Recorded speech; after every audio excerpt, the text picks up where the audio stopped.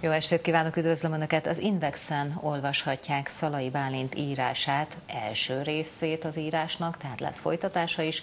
A könnyített, egyszerűsített honosítási eljárás, vagyis a könnyített állampolgárságnak a megszerzését, illetve az azzal kapcsolatos visszaéléseket tárta fel az újságíró kolléga.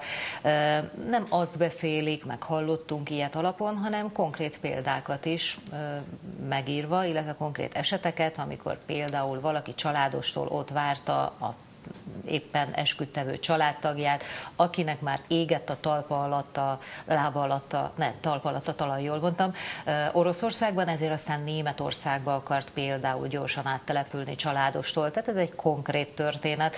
Tehát arról szól az összeállítás, és lesz folytatása is, hogy az ukrán, az orosz maffia állítólag tízezresével vagy tízezrével adja és veszi a különböző engedélyeket, igazolásokat ahhoz, hogy valaki magyar állampolgárságot szerezhessen, és ezáltal az Unióban közlekedhessen.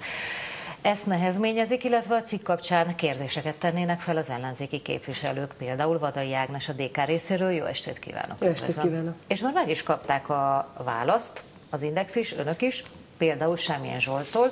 Sámilyen Zsolt azt mondta, hogy hát azért időről időre ilyen provokációk és híresztelések azok felröppennek, és emögött ellenérdekű érdekű, érdekeltségű titkos szolgálatok állnak, akik el akarják bizonytalanítani a külhoni magyarokat, meg hogy a baloldal összehangolt akcióját látjuk, felidézte azt is, hogy például Vadai Ágnes és az MSZP annak idején ellenezte és akadályozta határon túli honosítását.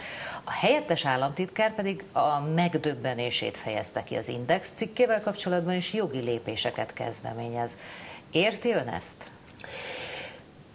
Szóval a kormány fehér lófia tagozatát azt így figyelmen kívül hagynám ebben az ügyben. A kormánynak a micsodáját? Hát nyilván semmilyen Zsoltra próbáltam itt utalni, aki leginkább a vadászattal és fehér lovon való lovaglással van elfoglalva, meg néhány ilyen, hát hogy is mondjam, meglehetősen furcsa mondattal. Az a baj, hogy a miniszterelnök helyettes úr nem igazán érti akkor a problémának a lényegét. Én is meg vagyok döbbenve, hogy egyébként ő minek szól ebbe bele, mikor ez nem nemzetpolitikai kérdés, hanem nemzetbiztonsági kérdés, ami az index cikkébe szerepel. Pontosan erről szóltam a mai sajtótájékoztatón, tájékoztató, hogy nem azt követeljük, hogy Pintér Sándor mondjon le.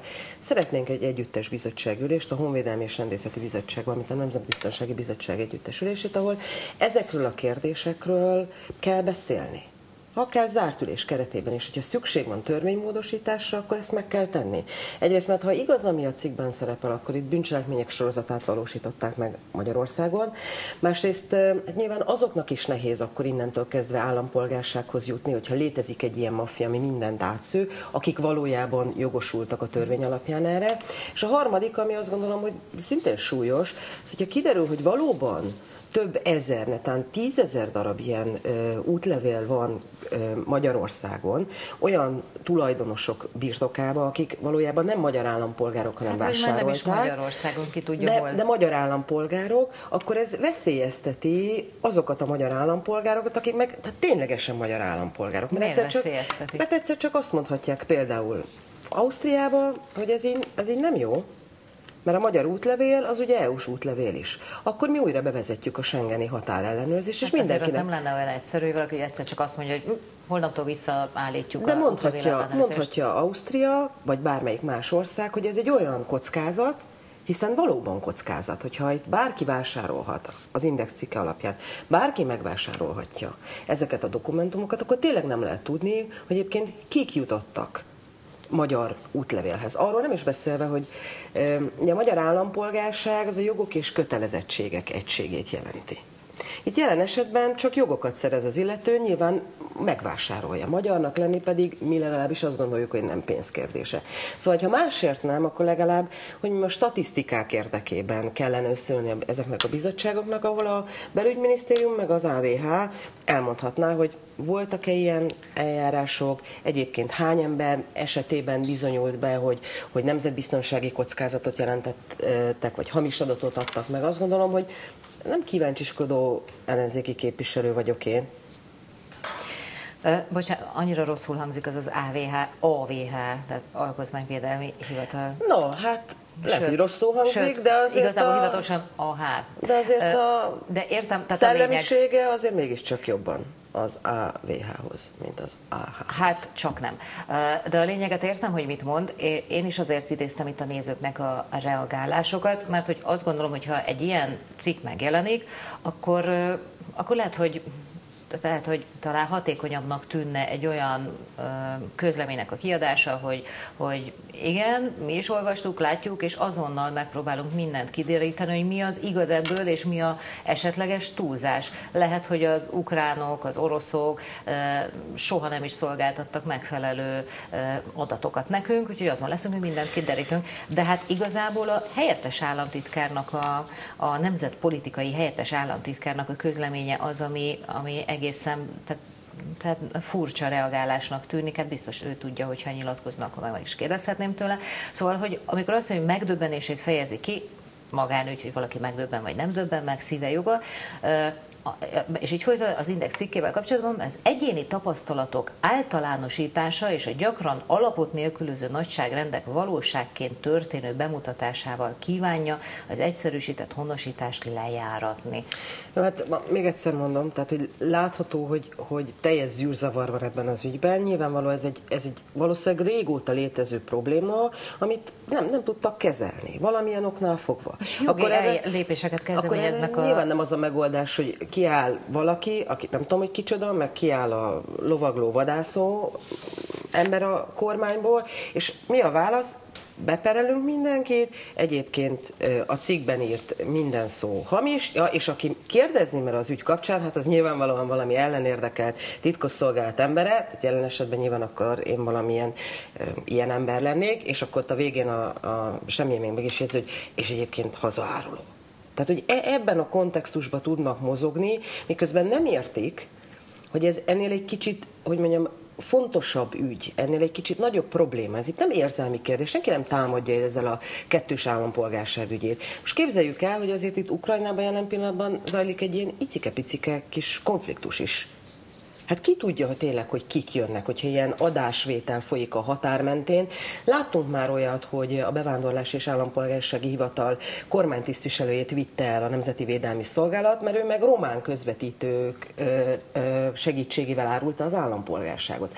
Erre nem az kellene, hogy legyen a válasz, hogy hazáruló hülye ostoba hazudik, hanem az kellene lenni, hogy legyen a válasz, hogy hívjuk össze a bizottsági ülést, tájékoztassuk egyébként nem csak az ellenzéken, hanem a kormánymárti képviselőket, és hogyha van javítani nem való. Az ottani hatóságoktól. Tehát itt ugye Szabó Bálint, Szalai Bálint cikkében az is szerepel, hogy itt korrupt hivatalnokokról, csalásokhoz asszisztáló ügyvédekről van szó, a, magyar, a magyar oldalon. rengeteg orosz, így, így működik az állampolgársági biznisz. Hát hogyha ennek tényleg, ha azt nehezményezi, hogy az államtitkárság, hogy ilyen egyetem megíródik, az csak nem nehezményezi, de hogyha ha azt gondolja, hogy ez nem igaz, vagy teljes mértékben nem igaz, de csak egy pár százalék igaz az írásból, hát akkor, akkor is... is kell valamit csinálni. Igen. És az, azt gondolom, hogy az országgyűlésnek azért vannak ezek az illetékes bizottságai, hogy ott a képviselőket tájékoztassák, mert mégiscsak a törvényt ugyan ott az országgyűlésben mindegy, hogy milyen formában, de hát ott, ott csinálták ezt a törvényt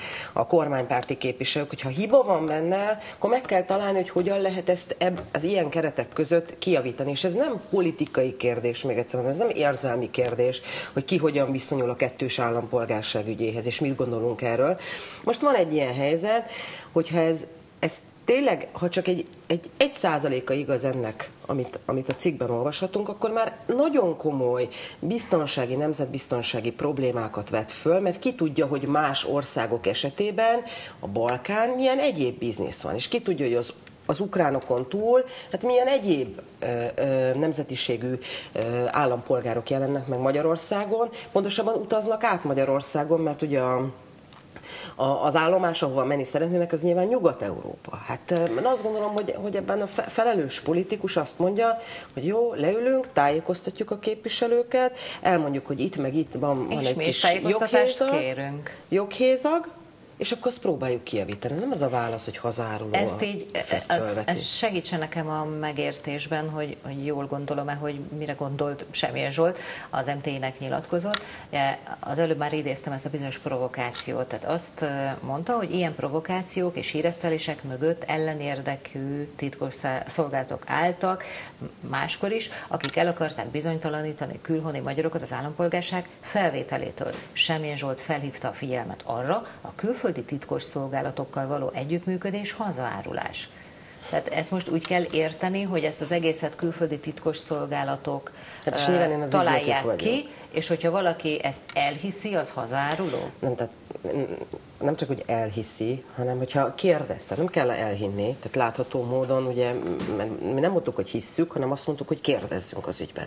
Tehát itt már azt hiszem elég az is, hogy valaki megkérdezi, megmerik kérdezni, hogy hát tényleg lehetséges ez? Na, az már itt az ő szemükbe hazáruló, de még egyszer mondom, tehát így tényleg ezzel már csak nevetni tudok, mert minden ilyen ügyre mindig az a válasz, hogy hazárulók vagyunk. Miközben az ügy nem erről szól.